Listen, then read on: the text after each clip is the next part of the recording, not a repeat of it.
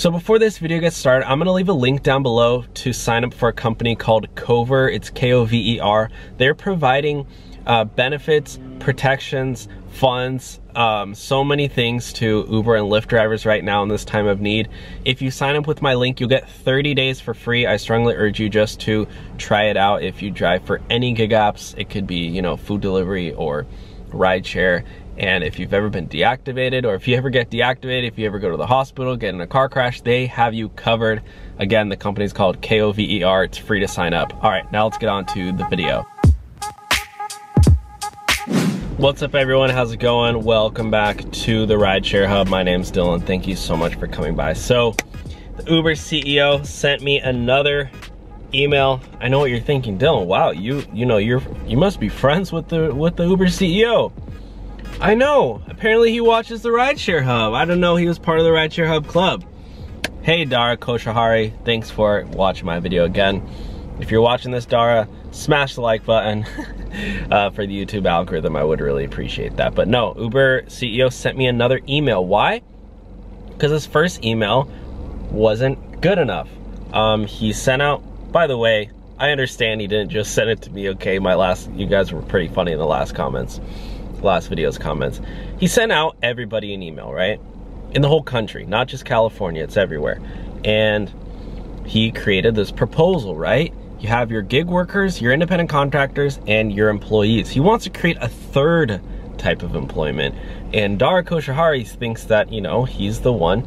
Oh, the, the government has been um, suing you and telling you to make your drivers employees. And you say, well, no, let's, I have a better idea. Dara, they don't want to, they don't want to hear your new idea. They want, they just want you to pay your drivers more they realize that Uber drivers are not getting enough money, yet they still are going out and working because, you know, that's like the best way to make money right now.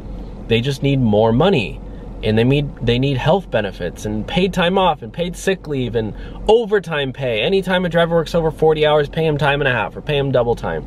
And Dar goes, well, yeah, I mean, we, we do have billions of dollars that we could easily give them, but yeah, no, I think we're gonna try to extend this lawsuit.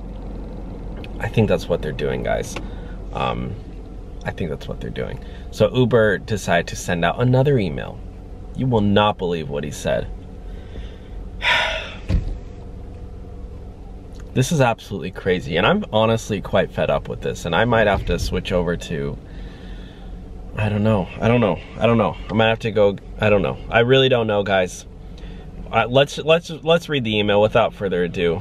By the way, guys, I know I have to plug this again, but if you're watching this video and you buy gasoline and you're still paying full price for gas, you're wasting your money. There's an app called Get Upside, link in description. Look at all this, guys. I have 51 bucks sitting in my account. You can cash this out for PayPal, Starbucks, whatever.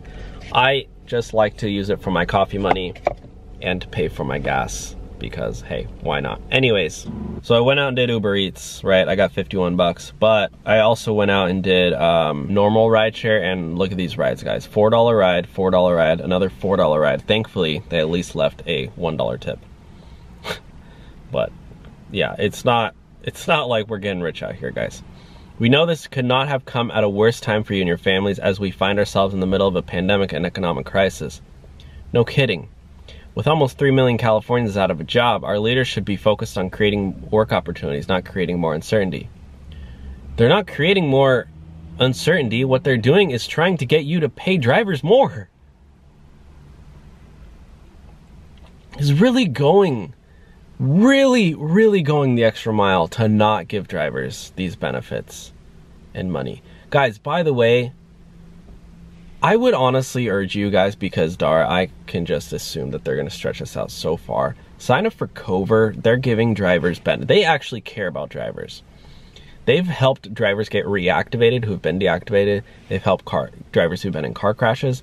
Help drivers who get 24. They they give 24 telehealth support, health support. They help with loss of income if you get, you know, if you get ever get sick. Um, they replace 80% of your income. Uh, if you can't work for whatever reason, they're they're great. I definitely recommend checking out Kover. Protections, benefits, and um, whatever perks, funds. Anyways, moving on. It's not about Kover. This is about this. I just want to throw that out there as a great alternative. With almost three, yeah, as I said yesterday, rather than lawsuits, we believe there is a better way to work. One that offers flexibility when you want it and more support when you need it. That's what we're proposing for all California drivers in Prop 22. Oh, wow. I didn't realize this email was a whole campaign for us to vote on your proposition. That's what Prop 22 would give you new benefits and earnings guarantee while preserving the flexibility you value as an independent contractor. Today, we cannot offer this to you without a change to outdated laws. We'll continue to advocate for you and we'll do everything you, we can to protect your access to Uber and apps like ours. But we won't be successful without your help, and it starts with voting yes on Prop 22.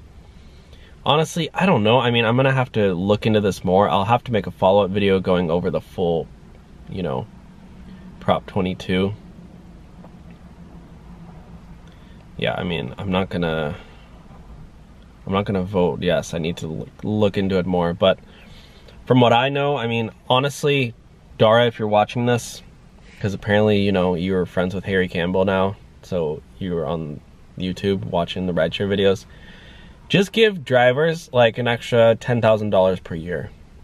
Or take the money and give drivers, pay, if you pay us like $2 per mile, honestly, why don't you just why honestly why don't you just make drivers and employees? I don't get it. You don't need to make drivers on a set schedule. Just give drivers benefits health benefits and put them on a w2 rather than a 1099 the reason he's doing that is for tax reasons. I guarantee you. They don't want to pay their taxes. That's what it all comes down to guys. Has nothing to do with what drivers how drivers want to be treated fairly whatever. It just comes down to money. Just comes down to money the whole reason this whole thing started was because the government realized that um, two main reasons is why is what this whole thing started.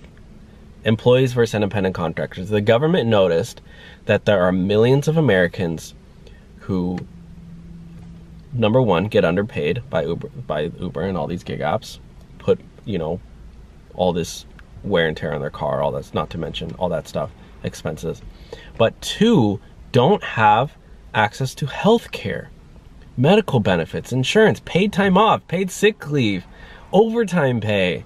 You got Uber drivers going out there working 80 hours a week just to pay their bills.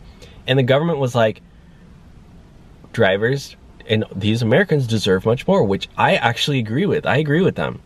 And then this, I'm not advocating for employees, by the way. I just think that Uber's not paying drivers enough and Uber should give drivers these benefits. I think it's crazy. I think they should increase the rates for drivers um, and pay drivers more and maybe give them expenses to pay for their car. I think that would be, I think drivers would be happy with that. Um, and then the second thing that the, gov- that the government did this was because they noticed that these huge billion, billion dollar gig company, you know, billion, you know, multi-billion dollar gig companies aren't paying their taxes. So they're basically, you know, they found a loophole to get all these tax write-offs by employing independent contractors, which in my understanding is 100% tax write-off, whereas making employees, they have to pay taxes and all those. So that's that's all I have for today's video, guys. Make sure to like, comment, and subscribe if you want to see my update video where I go over, you know, what actually happens with all this because this is all up in the air. And as you saw in the email, this could be happening within the next eight to nine days. So make sure to subscribe so you don't miss out on that and leave the video a big thumbs up if you enjoyed it. Thanks for watching, guys. I will talk to you all soon. Bye.